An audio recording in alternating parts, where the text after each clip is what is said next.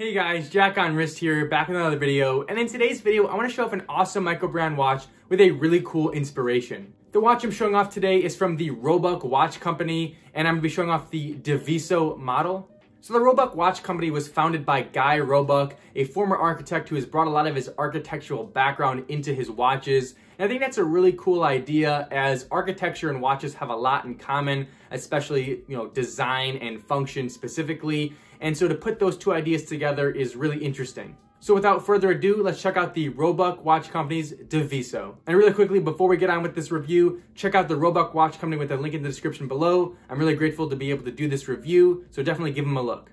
All right, so here is the Roebuck Watch Company's Diviso model. Definitely an interesting watch. You can already see just by looking at it some of the more interesting aspects to the design. But before we jump into that, let's talk about the basic specifications and materials used.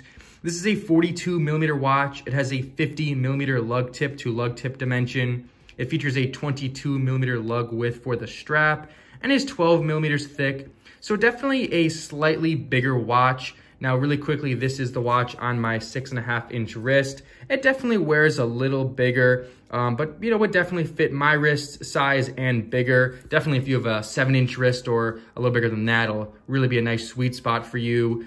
Um, talking about the materials here and some of the other specifications, uh, full stainless steel case, it weighs 100 grams, so definitely a little weighty, which is great to see. Um, also, it has 100 meters water resistance, uh, features a sapphire crystal, and talking about the movement here, it features a Miyota 9039 high beat movement. Definitely an interesting, interesting choice. Uh, not something you see super often. So great to see that choice in this watch. Again, that high beat movement is gonna give it a nice sweeping second hand as you can hopefully see there. And as long as we're talking about materials, this also features a really nice leather strap here. Really a nice, thick, high quality leather strap, which is great to see, especially at this price point, um, which is $550.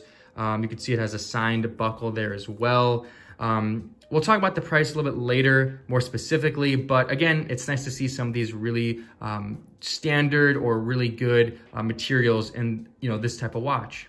Now talking about the design here, again, as I mentioned, it's a pretty polarizing watch, uh, but breaking down some of them, you can obviously see that a dial is the biggest thing that you're gonna stand out and see with that orange stripe down the middle, the light blue colors on the uh, sides of it. Now keep in mind, this color scheme is not the only one this watch comes in. It does come in a really classy black and white. It comes in a green and gray. I believe it also comes in a silver and black. So, you know, keep that in mind. There are other color options. Now this one happens to be the craziest of them all. Um, but I actually kind of like it. It makes this watch really fun. I'm not sure if this is a great daily uh, watch color scheme, but definitely a really fun watch color scheme. Um, also, it features a carbon fiber bezel, which is really cool. You don't really see carbon fiber used too much on watches. I know it's a, a little trend now within micro brands to use carbon fiber, but usually you don't see it as a bezel. And I really do like the way it looks. I mean, it's obviously unique to this watch, which is really cool, but again, I think it's, I think it looks really cool. I think it shines really well um, and definitely a nice feature here. Also, it features an inner rotating bezel, as obviously you can see that it has two crowns here. This top crown by the two o'clock is the inner rotating bezel. Now, I'm not 100% sure if this fits the watch super well. You can obviously see that the red triangle matches the red tip at the second hand, so I'm not saying it isn't integrated well in terms of colors, but I'm not 100% sure what this watch is going for with the inner rotating bezel, but I can't really complain too much. It definitely is a useful feature in this watch.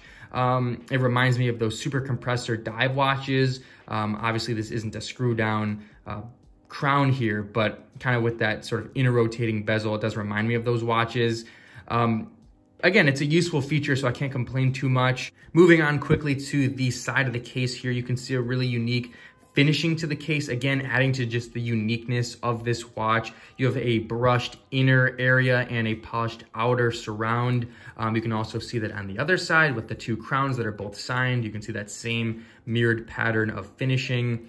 And I think generally as a you know, as a watch, finishing wise, definitely it is really nice. Um, every angle looks pretty good. Now, I believe this model has been passed around um, for, to a couple reviewers, so the condition may not be perfect, but I think it really is a nicely finished watch.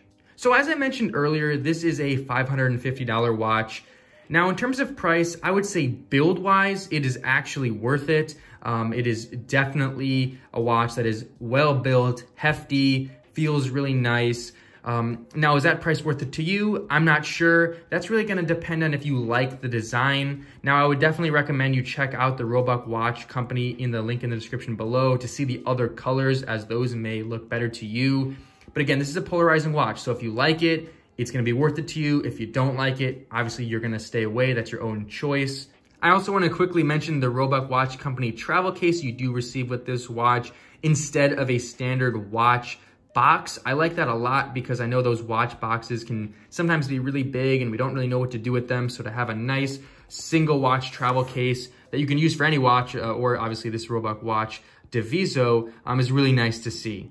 So yeah, that is the Roebuck Watch Company's Diviso model. I think it's a really interesting watch, definitely really polarizing. I think a lot of people are gonna love this watch, and I think a lot of people are also gonna hate this watch just because it's a very interesting look. Again, I recommend you check out the link in the description below to the Roebuck Watch Company to check out those other colorways of this model. I think all the different colors provide a different look that are very unique. So again, check them out, link in the description below. But in conclusion, it is definitely a well-built watch. Definitely has some unique looks that you won't really be able to find anywhere else. And if you like it, go for it. So yeah, that's pretty much it for this video. That was the Roebuck Diviso. Again, check them out with the link in the description below if you're interested in this watch. But with that being said, thank you for watching, and I'll catch you in the next one.